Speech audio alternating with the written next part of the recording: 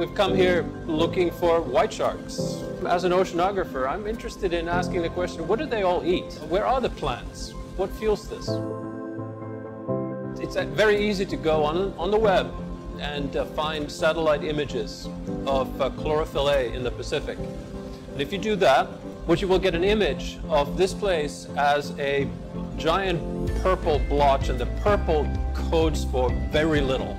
The secret to this place is that there is chlorophyll, but it's subsurface. So the chlorophyll peak is actually happening pretty deep down in the water column, and that's something that the satellite simply can't see. Plant life, the phytoplankton as we call it, um, have some unique set of challenges to overcome. Somehow they have to stay afloat in the water column. They can't sink because if they sink, they lose contact with sunlight. And one of the big solutions is you become really small. Most of these organisms, the phytoplankton, are only visible by microscope. For our trip, the bigger question is not so much what the individuals look like, but how much of this energy is present in the ecosystem that we look at right there. Doesn't look like there's much going on, except that there is.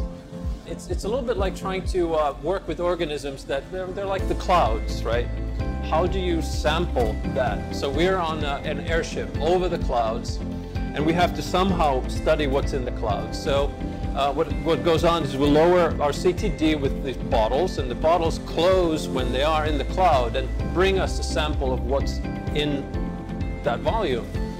Um, we filter that and extract all of the cells that are present in that volume and then uh, make a more careful analysis of the exact concentration. Ultimately, we have to come here to make these measurements uh, because only through the measurements of how much fundamental grass growth, plant life, uh, how much that energy can fuel in the ecosystem, how that can cascade up to bigger things, to squid and big squid and fish that are shark food.